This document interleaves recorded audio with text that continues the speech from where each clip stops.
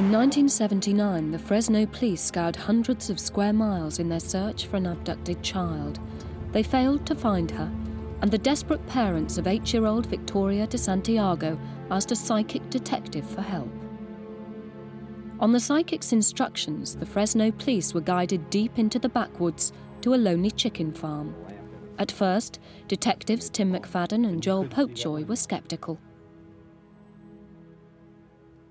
I never dealt with a psychic before, and I thought I'd go up there and some lady in a gypsy garb with a flashing neon sign in her window said fortune teller would answer the door and would rattle a few bones and throw some incense and burn some stuff. And she wouldn't tell me a whole lot of anything, but the mother wanted to do it, and uh, it seemed like we should go along with her. Well, when I got up there, I met Kay, and uh, she was a very normal lady, just um, typical. And within about 10 minutes of talking to her, I realized that this lady did know something about this case because she was telling me things that she shouldn't know. Kathleen Rhea counts hundreds of police forces as satisfied customers. She told Sergeant McFadden that the girl was dead. She had seen the tragedy enacted in a vision. Now, the first thing I saw was her being taken into a car with her little sister and the dog by two men at the time. I feel one man left before it was all over. And then I started seeing the direction. I wanted to look to see where did they drive her. And I felt they took her on a highway that was going north. And then I felt that uh, then they went off of that highway onto what I felt was more of a country road. And I could uh, see the uh, chicken farm because I kept seeing feathers. I kept saying it's like lots of feathers, like there's a chicken ranch, a poultry ranch.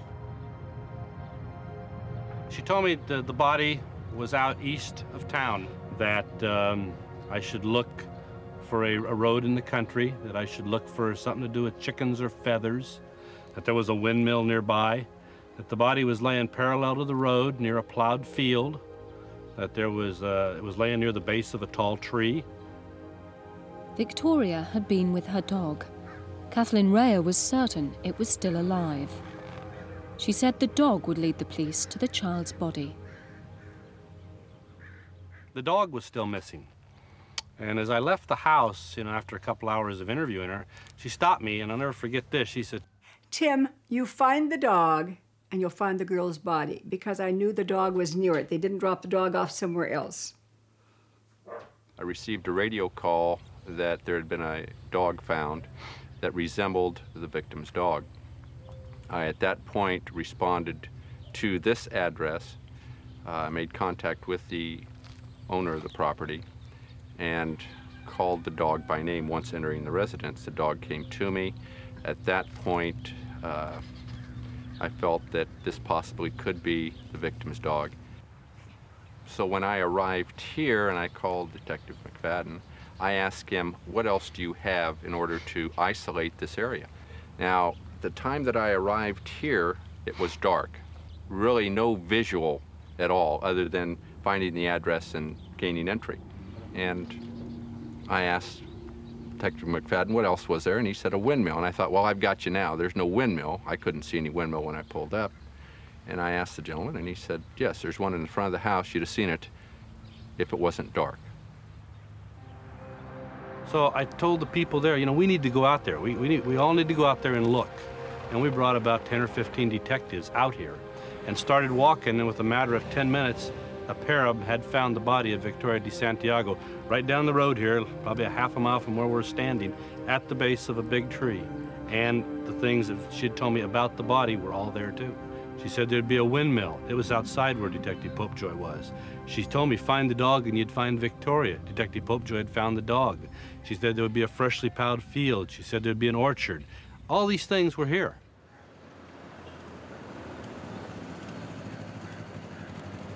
Sadly, this tragic case has never been solved. Psychics often volunteer to help the police. From Jack the Ripper in Victorian England to the serial killers of the late 20th century, countless people claiming paranormal powers have offered to crack unsolved murders or missing person cases that have hit the headlines. Sometimes the psychics can do better than ordinary investigators. For example, when the famous crime novelist Agatha Christie disappeared in 1926, everyone thought she was dead. Then Sir Arthur Conan Doyle, creator of Sherlock Holmes, called in a psychic, who announced that Miss Christie was alive and would turn up soon, which she duly did. Each psychic crime buster has a different technique. In a recent case, one used an object to focus on. When five year old Tommy Kennedy went missing, his favourite sneakers were the key to his rescue. Teams of searchers combed the forests around Empire Lake all day. By nightfall, they feared the worst. Nice to have you with us. How are you doing? Good. Good to have you back. You enjoying your summer? Yes, very good. Then a local priest made an extraordinary offer to help the searchers. He asked for something of Tommy's. They gave him a sneaker. I find that when I, when I work, especially with missing persons cases, that if I have an article that has been in their possession, for some reason I can tune in uh, more positively to them. Well, after I had the sneaker in my possession, was able to tune in even more. I really felt that I had to uh, sort of project ahead and know what was what was going to be the path that I would have to take. Well, I think there were a lot of skeptics. Uh, there were some people that uh, were sure that he was a witch or a demon from hell, but there were also uh, others of us that uh, knew Phil and uh, knew what he could do and uh, certainly had some faith in him. From the picture he saw in his mind's eye, Phil Jordan drew a map. He's kept it to this day. And I, I said there will be three overturned boats. And directly across from those boats there would be a building. And we would have to go into a thicket and a wooded area behind that building and continue on up until we found a clearing that had a pile of rocks. There would be a brook or a stream. And a little ways past that we would find um, Tommy Kennedy asleep under a tree. So we got here and uh, of course Phil had the map. And as we uh, approached the area, it was just like it was a uh, Kodak photo. Uh, and we set off in the direction that Phil had indicated uh, with full confidence. When I went into the woods, I would hold the sneaker, and, and it seemed as though each time I would touch it, it would uh, tell me what direction to go, so to speak. The vibrations would draw me to the right, to the left, go forward, um, continue on. And so um, I think it just acted as a, an instrument to help tune me into his location. 17 hours of searching had failed to locate Tommy. Phil found him alive and well in minutes. When, when we did find Tommy, uh, it was an extremely emotional uh, time for me. It was, it was very draining to work psychically that long, and, and I was fatigued mentally, but I think the, the spiritual experience of the whole thing, of being able to uh, save a little boy's life, and knowing that he was okay, I just knelt and wept. Very often, however, psychic detectives provide completely misleading information. When an American general was kidnapped in Italy in the 1980s, the Pentagon was deluged with offers of paranormal assistance. But they stopped listening after 500 policemen raided a house described by one psychic and found an innocent and very surprised family having breakfast. Ironically, psychics who provide too accurate information can get into trouble.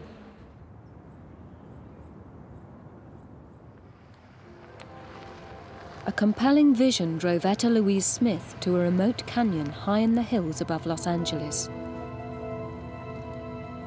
She'd heard on the news that police were searching for a missing nurse. Detectives were carrying out house to house inquiries, but Etta Louise says she knew exactly where 18 year old Melanie Uribe was. It was as if I heard a voice or someone tell me, she's not in the house. And as soon as I, I registered that thought, she's not in a house, it was like I saw a picture. It was as clear as a photograph in front of me. I could see where she was. The picture was of a curvy road in the canyon, a curve on the right, a dirt path going out to something white and a hill behind, and a lot of shrubbery, a lot of bush. And I knew. I went into the police station. I met a gentleman, a detective, uh, Mr. Lee Ryan. He was genuinely interested. And uh, I said, I know it's strange, but I can't explain this. He asked me if I knew the name of the street, and I said, no, I don't. Uh, I, I know how to get there. I know where it is. I don't know the name. Well, I went home. We all get in the van. We drove through this canyon and got all the way to the top, and we had not spotted anything white and shrubbery. And all of a sudden, my daughter says, Mama, Mama, stop, stop. I said, What is it, honey? She said, Mama, stop, I saw something. And I stopped. And I said, Look, honey, what do you think you saw? She says, Ma, I see something white out there. She said, Ma, it's a body. And I'm going, Oh, no. No. I said, Tina. She said, Ma, it's a body. This person had on no clothing, and that's another thing that made it very difficult to see and understand what I was looking at. But the only thing this person or this object had was white nurse's shoes. Etta Smith told the police of her gruesome discovery. Amazed by her story, they promptly arrested her. Etta was charged with murder and jailed for five days. She was only freed when three youths were overheard discussing the crime and arrested. Determined to clear her name, Etta Smith hired lawyer James Blatt. I can't make a, a judgment call on all the other psychic uh, phenomena that occur. All I can say is the one that I experienced here appeared to be valid. She found the body. There's been no evidence whatsoever that she knew anyone connected to the crime. And she acted as a responsible, concerned citizen. Uh, based upon that, she was subsequently arrested for the murder. Uh, she spent five days in a jail cell, and I indicated to the jury that I felt that that type that the arrest was unlawful, that she should be remunerated for that arrest, and that having a vision and acting upon that vision is not a crime. The judge ruled in our favor, and then the jury ruled in our favor. Thanks to James Blatt, Etta Smith was awarded $24,000 for wrongful arrest. It took me six years to clear my name. Um, I'm glad I did it. I, I felt that it could be done, but if it had taken 20, I think I would still be fighting. I, I wouldn't have quit until I cleared my name. In the old gold rush town of Jackson, the police are polishing new skills. Sheriff Ken Blakes called in Judy Bell to lecture his men on psychometry. To do is you're going to come over, you're going to pick up an object, take it back to your table, do psychometry on it, write about it. Psychometrists believe that objects pick up vibrations, especially when crime's involved. Judy says detectives can learn to tune in to vital clues embedded in the evidence.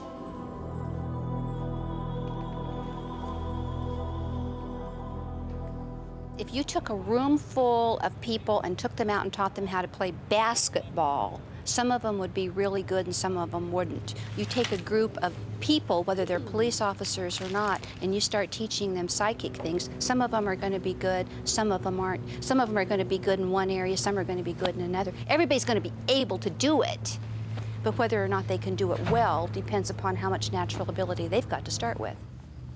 It's interesting. I get a, a feeling of very softness about it. It's not a, it's not a violent, even though it's a gun, I don't feel um, any harshness out of it. It's a real soft feeling, almost a feminine feeling. There's, there's no doubt in my mind that uh, I'm getting some type of feeling and, and that uh, I'm learning from this. The first weapon I picked up was this one, and uh, it just, I got shakes, and I'd have sworn when I pick it up that, uh, that it had killed somebody. I'm not saying that uh, we will be able to uh, solve every crime because we have now gone through Judy Bell's course. But I think that the, some of the techniques that we've learned will allow them to be better investigators, to be better interviewers, and, uh, and, and I think that we'll be better police officers in the long run. At the University of Hertfordshire, British researchers are mounting an experiment to put extrasensory detection to the test.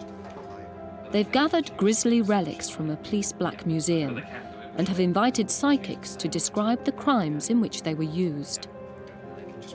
Two observers have been called in to help psychologist Dr. Richard Wiseman assess the results. They're Donald West, retired professor of criminology at Cambridge University, and journalist Roy Stemman of Psychic News. They'll watch from behind a two-way mirror. The test today is uh, looking at people who claim to be psychic. They claim to be able to handle objects that are connected with a crime and tell us psychically about that crime. And today what we're doing is comparing how well they do on the test versus a group of people that don't claim that ability. And today that's the students. Exhibit A is a shoe worn by a woman murdered in 1899. Her body lay in a secret grave for four years. Her killer was in the army and was hanged in 1901. Exhibit B is a bullet which killed a policeman in the 1920s. It was one of three fired into his head by two attackers. They too were hanged. A 70 year old woman wore Exhibit C. The scarf was used to strangle her during a burglary. The killer was a milkman. First on are the psychics. Chris Robinson's technique is to dream about the objects in advance. The dreams that I had to do with item A were to do with a woman, to do with a woman who was murdered, and I had an area around Tottenham Court Road in London. Um, I thought she had been shot. I was expecting to see a gun. Going to the object um, B, very strange because when I've been thinking about um, tuning into the objects um, with the item B, I felt a brick wall.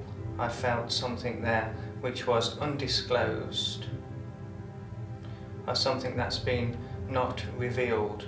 Um, all I got was a brick wall. Whether this is for not me to see or whether it is something still uh, undisclosed, but uh, something there that has not been unrevealed and I've just heard a loud bang. Yeah, a feeling of helplessness and abuse and extreme rage. So I feel very much like a person that had that sort of object actually sort of uh, suffered a very violent death, something to do with the sort of neck sort of area. But it was this sort of feeling, if you like, then of helplessness and blind panic, rage, anger, fear, then it's the turn of the students. A robbery of some sort. Seems worn from earth, probably been left for quite a time in undergrowth or something in some sort of forest area. I think this is going to be worn by an old woman who's no doubt dead. So we are expecting the magazine. is it a bullet? Um, Don't know. After the oral test, the written paper. In detailed questionnaires, psychics and students must now match the facts of each crime to the objects. So we've got uh, A, which is uh, the shoe there. There's the 18 statements, and all we want to do is just read them and tick the six that you think go with the scarf. We, we all three of us had a, a sense of suffocation or being tied up. Uh, there was death there. Um, the second one, I felt we all had difficulties with that. The last thing I heard was the bang. I just couldn't really link with the, the bullet. Um, the first one was being underground. I don't think I did very well. I didn't have much time to think about it and I felt a bit under pressure and just said the first thing that came to my head.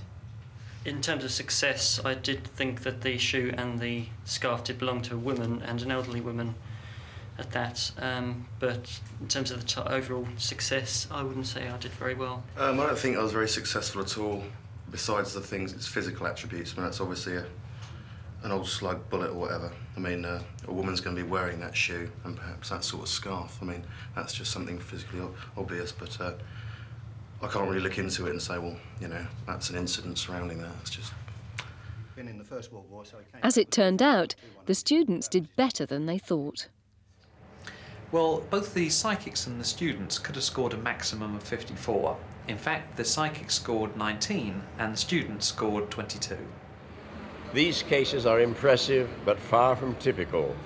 The police will tell you that not only do the psychic's failures far outnumber their successes, but they often hamper detection.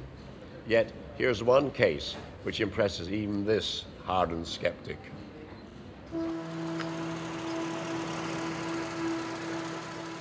In Watseka, Illinois, Vic Carho has never forgotten Greta Alexander. When 11 year old Larry Dean Cotter was washed away in the icy Iroquois River in 1980, Greta led Carho to his body by long distance phone. The minute he said to me, I have a missing child, 11 year old, that we think is drowned, immediately you become that person. You rise to the occasion. And uh, so from that moment on, I was with Larry Dean. You feel what he felt. You feel like you're having such a good time and laughing. And the next thing you know, you step back and you're going under the water. And the next thing you know is you're turning and rolling and turning and rolling.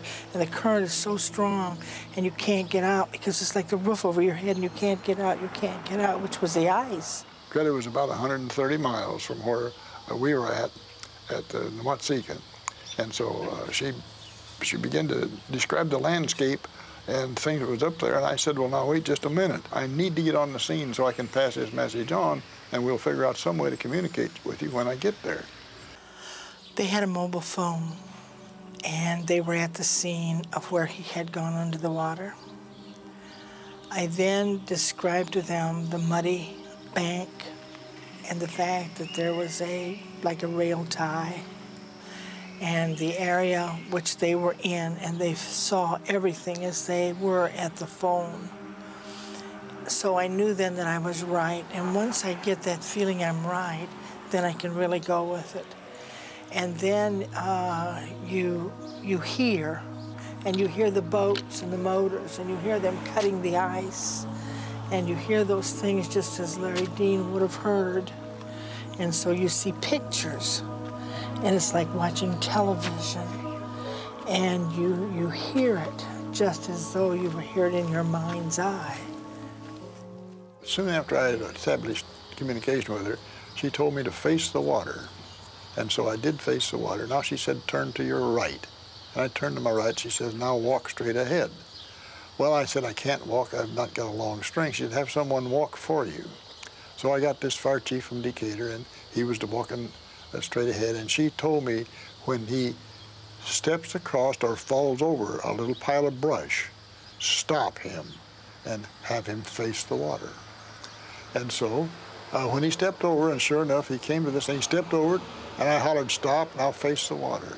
And she said, you're looking right at me. See my hand. And they actually saw the boy's hand, and they saw shadows, and this is how we, we located him, and they called us to to get the boy's body.